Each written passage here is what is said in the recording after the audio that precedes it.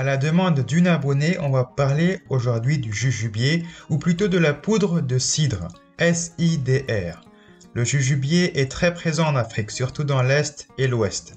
L'arbre produit des fruits comestibles appelés jujubes. Les jujubes séchés facilitent la toux en cas de rhume ou d'enrouement. Et pour un résultat optimal, il faut former le mélange des quatre fruits béchiques, composés de la jujube séchée, raisin sec, figues séchées et dattes séchées. Ça, c'était pour la présentation de l'arbre. Maintenant, parlons de ses vertus quant aux cheveux. Ce qui est appelé poudre de cidre, c'est la poudre obtenue grâce aux feuilles qui sont séchées et pilées. Cette poudre contient naturellement du savon, elle est donc saponifère. C'est une très bonne alternative au shampoing industriel. Riche en vitamines et en sels minéraux, ce sera bien nourrissant pour les cheveux. Et la poudre est astringente, donc riche en tanins, et concrètement ça veut dire que la poudre a pour effet de raffermir la peau. Évidemment, c'est parfait pour les cheveux fins et fragiles puisque la poudre est composée de mucilage. C'est une substance végétale qui aime beaucoup l'eau, qui devient visqueuse au contact de l'eau. Donc c'est loin d'être sec et ça va hydrater le cheveu. Je parlais de shampoing, mais tu peux aussi l'utiliser pour le visage et le corps. Bon, je pense que le mieux c'est de te citer tous les usages que tu peux faire avec cette poudre.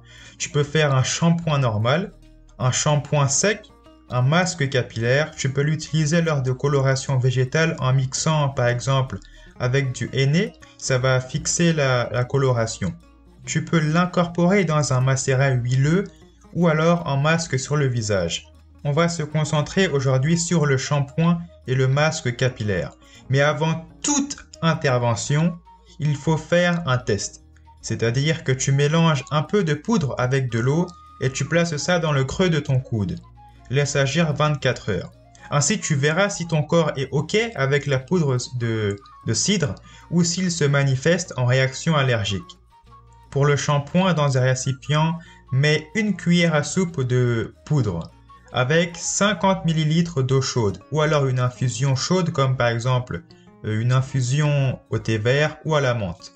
Tu mélanges tranquillement. Il faut que le mélange deviennent une pâte homogène et gluante, mais pas trop liquide. Donc après tu ajustes en fonction pour obtenir la pâte souhaitée.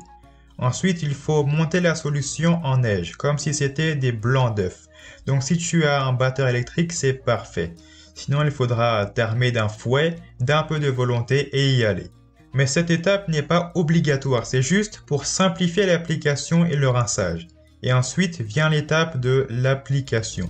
Sur cheveux mouillés, soigneusement, applique le shampoing en visant bien les racines. Laisse agir pendant 5 minutes si tu es pressé et 10 minutes si tu as le temps. Lors du rinçage, passe ta main afin de ne pas avoir les cheveux collants et gluants. Et pour le masque capillaire, mélange 100 g de poudre avec de l'eau chaude. C'est la même chose que pour le shampoing. Donc pour l'eau, tu en mets petit à petit tout en mélangeant jusqu'à obtenir une pâte homogène et gluante mais pas trop liquide. Ensuite, t'appliques la solution sur ton cuir chevelu, mouillé au préalable. Laisse agir 30 minutes avant de rincer si tu es pressé ou 1 à 2 heures si tu as ton temps. Pour faire cet audio, je me suis beaucoup inspiré du site Mimi Tambouille qui propose des solutions bien-être naturel, tout ça tout ça. Le lien est dans la description.